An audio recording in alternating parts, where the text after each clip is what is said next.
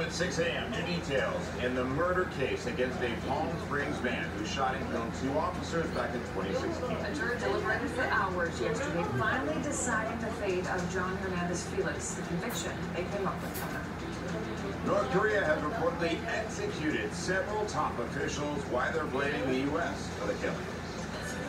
And a major lottery drawing happening tonight. How much the Mega Millions jackpot has reached since the last one being drawn two months ago.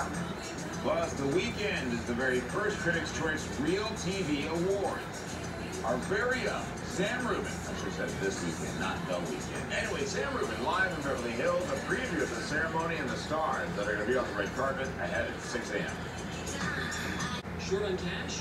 You could get this much with a typical payday loan, or you could get 10 times more with an express installment loan, up to $5,000. Get 10 times more cash with a Speedy Cash Express installment loan. Love that speedy cash.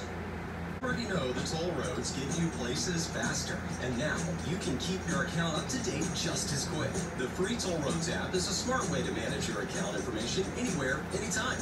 Buying or selling a car? You can add or remove a vehicle using the app. Change of address or credit card expired? Updating is easy. Review account activity and make a payment all in the palm of your hand. Download the app today or visit thetollroads.com and enjoy the drive.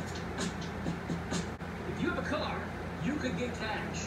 With Speedy Cash Express title loan, you get more cash 2,600 to $5,000 and no clear title needed. Apply for Speedy Cash Express title loan today and unlock more cash. Love that speedy cash.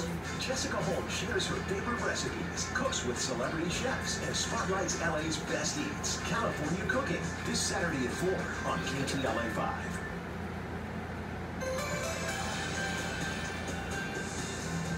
Good Friday morning, everybody. Taking a live look into Long Beach. A little bit of a marine layer, but we're going to burn through this. We'll get to